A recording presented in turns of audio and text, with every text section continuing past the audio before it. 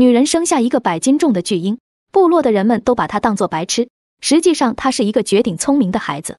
平时在村里扮猪吃老虎占便宜，为了让别人相信自己真的是白痴，她经常做出一些匪夷所思的事情。有了白痴这个头衔之后，她就可以浑水摸鱼，做错事顶多也就挨几句骂而已。这天，部落里的小花把她带到树林里玩耍，首先蹲在地上制作出一种迷魂卷烟，接着就塞进小黑的嘴里，忽悠他抽上几口就能立马升仙。没想到他吸完之后，居然变成了帅气的王子。小花看见之后，喜欢的不得了，跪在地上苦苦哀求他成全自己。小黑却说地上蚂蚁比较多，不方便。于是两人就手拉手冲进了小树林。几个小时之后，小花背着他回到了部落，容貌也变回了原来的模样。酋长看见之后非常生气，抡起棒子对着小花一顿揍。自从去过小树林之后，两人就经常眉目传情。酋长气得咬牙切齿，又无计可施。小黑得意忘形地叼着自己的小玩具。却不知这个酋长非常小心眼，分配烤野猪的时候，大家都有肉吃，小黑却只能吃这些没人要的内脏。他愤怒地宣告内心的不满，但是并没有人愿意为他出头，最后只能含泪吞下了这一大坨内脏。小黑一怒之下，又和小花来到森林玩耍。酋长听到动静之后，拎着大棒子前去查看。两人看见他手中的大棒子，顿时就吓得魂飞魄散。不久之后，他们的部落遭遇了一场洪涝，部落人找不到食物，饿得全身无力。大家趴在树上盼望天上掉馅饼。酋长无奈之下冒险带着老父亲下水捞鱼。这条河流生活着一种特别喜欢钻洞的鲶鱼。酋长很不幸被一条大鲶鱼当成了巢穴，最后只能放弃了捞鱼。为了能让其他人存活下来，母亲狠心的将小黑丢到了荒野。他在森林流浪了七天七夜，一不小心闯进了食人族部落。他恳求这位长毛野人给自己一点食物，对方非常爽快的割下一块最嫩的小腿肉。小黑心里很害怕，却只能装作白痴吞下了这块肉。吃完之后，表示要回家找妈妈，其实就是想找机会开溜。怎料长毛野人拎着匕首追了上去，势必要把他给宰掉，饱餐一顿。小黑看见之后，吓得扭头就跑。幸亏他跑得快，来到了一户人家，赶紧冲进去拴紧大门。主人看他怪可怜的，就送给他一件衣服。小黑回到家之后，发现母亲已经被饿死。第二天，部落里的人为他举行了葬礼。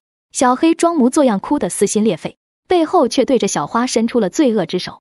几天之后，酋长决定带着大家前往城市找工作。几人在半路发现一口牛奶喷泉，饥渴难耐的小黑立马走上去享受牛奶浴。被牛奶淋过以后，居然变得又白又嫩。酋长看见之后也激动地冲了上去，谁知牛奶喷泉已经枯竭，气得他趴在地上嗷嗷叫。小黑自从皮肤变白之后，地位也随之提高。小花已经变成了他的小迷妹，一路上趴在他的膝盖上面。小黑梦寐以求的王子梦终于实现。经过几天的赶路，他们来到了城市。酋长在车水马龙的道路上显得非常迷茫。随后几人便来到人力市场寻找就业机会，但是他们现在连身份证都没有，所以根本就没有老板敢请他们做事。小花虽然也是一名黑户，好在肌肉结实，找到了一份体力活。而这三人已经快要变成流浪汉。他们在路上遇到一个女人在和黑势力火拼，一整车大汉竟然被他轻松灭掉。完了之后，就拎着两把机关枪离开了现场。小黑对这个彪悍的女人一见钟情，于是就恳求她收自己做小弟。怎料女人准备连他一起干掉。危急关头，酋长搬起砖头将其砸晕。小黑趁热打铁，把他拉到了墙壁后面。女人醒来之后，并没有生气，反而爱上了这位力大无穷的土著小伙。小黑就这样过上了每天喝海鲜粥的快乐日子。彪悍的妻子负责在外面打拼事业，每次出去都会带着几捆钞票回家。小黑做梦都没想到自己会傍上这么能干的富婆。但是想要拿到这些钱并没那么容易，因为妻子会无休止的压榨他的体力。六个月之后，他就生下了一个黑人宝宝。妻子初为人母感动的热泪盈眶，小黑也特别喜欢这个长得跟自己小时候一模一样的儿子，每天抱在怀里爱不释手。但是幸福的日子还没过多久，就传来了噩耗：妻子和儿子出门的时候被仇家干掉。小黑失去亲人之后痛不欲生，整天借酒消愁麻痹自己。人倒霉的时候，连小鸟都敢在他头上拉屎。最后还被一群寡妇给盯上，在船上折磨几个小时才舍得放他离开。随后，小黑又重新回到了酋长身边。突然间多了一个吃白饭的人，他们的日子过得更加艰难，平时只能出去干一些偷鸡摸狗的事情。这天，小黑一人坐在地上休息，突然走来一位推销鸭子的男人，他忽悠小黑，这是一种价值连城的黄金鸭，只要拍拍鸭翅膀就可以生金币。现在搞特价，只需要三十万就可以拿下。但是小黑兜里只有三十块钱。推销员看他实在是太可怜，于是就亏本将黄金鸭卖给了他。小黑还以为自己捡到了大便宜，结果拍了半天翅膀，只收到一坨鸭屎。他现在才意识到自己被骗了，吃了大亏之后，又去抢小孩的零钱，说是要让他提前见识一下社会的险恶。随后他又准备到富人别墅顺点值钱的东西，结果被漂亮的女主人发现。但是他并没有责怪小黑，还说男主人已经半年没有回家，如果他愿意的话，可以到里面随便翻。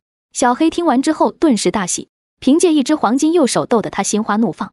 漂亮的女主人还邀请他到屋里喝茶，并且让他留下来住几天。但是小黑不是那种随便的男人，因为他到现在还忘不掉自己的前妻，而酋长已经和小花重归于好。小黑看见之后非常羡慕，嫉妒恨。他决定洗心革面，忘掉过去，重新开启新的人生。于是就去跟乞丐请教发财秘籍。乞丐告诉他，想要发家致富，首先得自毁一条腿。小黑听完之后，立马搬起砖头砸向自己的大腿。乞丐却起身拍拍屁股离开了这里。留下一脸蒙圈的小黑，痛苦的思考人生。如今大腿断掉，再也不能找媳妇。酋长和老爹尝试帮他恢复大腿的功能，只可惜下手太重，根本无济于事。最后还是小花出手帮他治好了大腿，小黑瞬间又恢复了往日的活力。酋长却眉头紧锁，十分郁闷。由于城市的生存空间越来越小，所以酋长打算带着他们返回部落生活。